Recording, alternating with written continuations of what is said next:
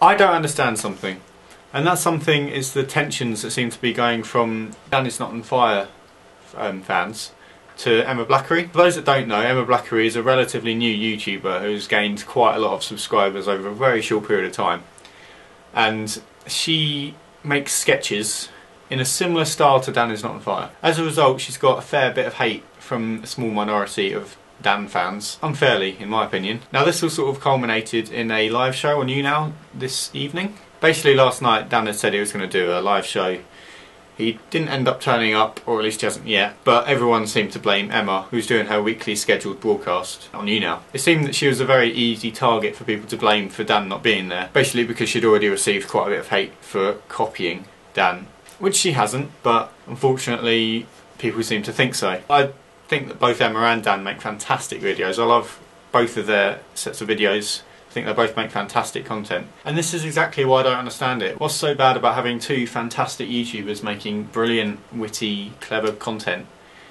Maybe portrayed in a similar way, but at the end of the day, they both have different ideas. They have different actual raw content, what they're actually saying, just portrayed in sketches. There's nothing wrong with that. Are we going to blame Dan for copying, say, Morecambe and Wise?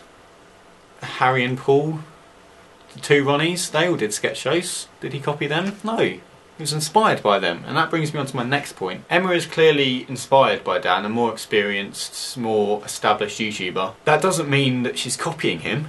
Where would we be as a species without inspiration from others? We wouldn't have PlayStations or TVs or laptops. I wouldn't have this camera without an inspired thought that built upon a previous idea. Music is another example. I mean, if everyone had an outcry at rock and roll for copying aspects of blues music, we wouldn't have Queen, we wouldn't have Led Zeppelin, and to cater for a wider audience, we probably would not have One Direction and things like that. Digressing, what I'm basically trying to say is that Emma and Dan are both different people with different ideas just portrayed in a similar manner. I personally love it, and I'm sure the majority of both Emma and Dan's fans also love it. It's just a small minority that really get on my nerves sometimes in a lot of things. But at the end of the day, we're all part of the same YouTube community. There's no point fighting among each other, especially when it's over two fantastic content creators that we're lucky to be able to watch.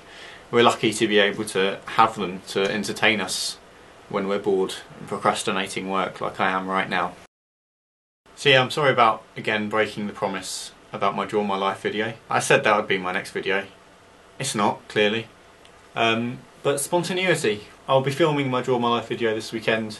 Should be up over the weekend or on Monday. I'm not sure yet, we'll see. So until then, sorry about the negativity, I guess. Sorry about that. Bye!